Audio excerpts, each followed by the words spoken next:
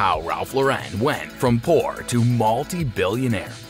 Ralph Lauren listed a millionaire as one of his life objectives in the 1957 yearbook of DeWitt Clinton High School in New York City. According to Forbes, he currently has an estimated worth of $7 billion due to the millions of dollars he has made through his iconic company, Polo Ralph Lauren. After growing up in a poor neighborhood of the Bronx, Ralph Lauren has transformed himself into a multi-millionaire. The Army veteran and former clerk made his fortune through the Polo apparel business, which he founded in 1968 and has grown to be worth billions of dollars. Hello everyone and welcome to another video on our channel. In today's video, we'll be looking at how Ralph Lauren went from poor to multi-billionaire. Yeah, you heard it right, so let's get started with our video. Let's start with his early life details.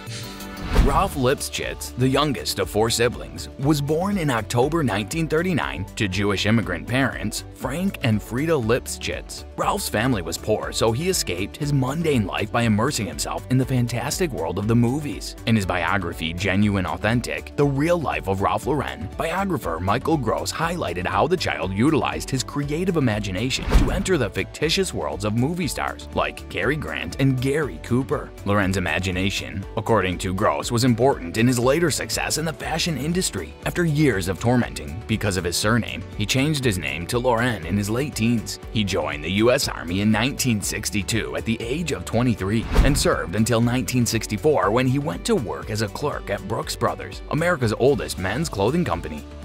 So when did he launch his business?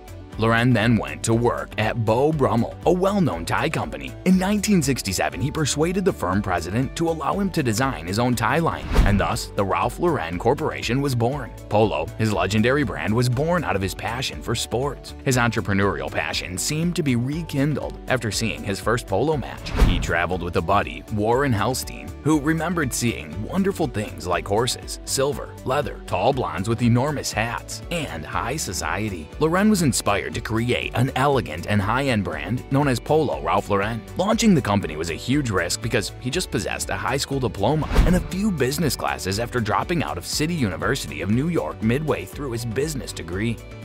What was his approach and how did the brand expand?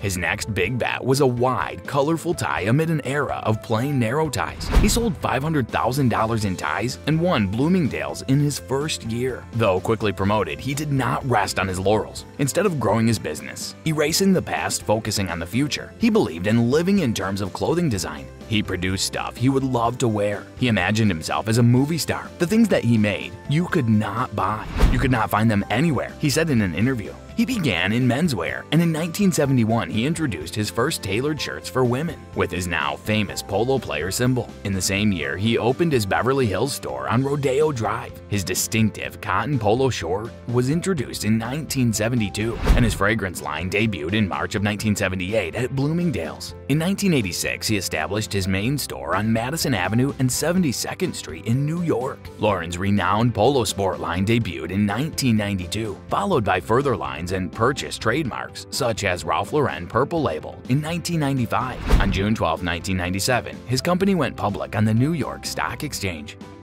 Did he face any challenges in his life? The Ralph Lauren brand was said to be failing in some areas in June 2016. Discounting and lower-end products were criticized by analysts, who claimed they tarnished the company's reputation and a failure to attract younger customers. In response, the designer released wearable technology in the form of a fitness technology shirt with a smartphone app in 2017. Physical tracking technology was first used in the Polotech Smart Shirt athletic gear. It had sensors that monitored the wearer's heart rate, breathing, stress level, and calories burned. Polo Sport competed with Nike, Adidas, and other big sports brands by streaming data to an app that developed customized workout regimes. Where is he now? The designer is now 79 years old and reaping the benefits of his labor, with houses in Long Island, Jamaica, Bedford, and Manhattan, as well as a 17,000-acre ranch in Colorado. The kid who dreamed of becoming a millionaire has become a multi-billionaire. He owns one of the world's most valuable vehicle collections. Owning a rare and superbly constructed car offers a different kind of pleasure for me, he once commented. You can appreciate the machine's beauty as well as the voyage it takes you on. He feels that having style rather than following trends is the key to his success. Fashion comes and goes swiftly, he famously quipped. Style never goes out of style. That man said it perfectly. If you want to create your own rags to riches story, Headspace's flexible workspaces and co-working offices are a great place to start. Well, that's all for today's video. Tell us in the comment section how today's video was and whether this story inspires you. I hope that you found this video interesting. If you want to see more videos like this, please consider subscribing for more. And don't forget to give comments and provide us with your valuable feedback. We'll see you in the next video with some more amazing, luxurious facts and stories. And until then, stay tuned.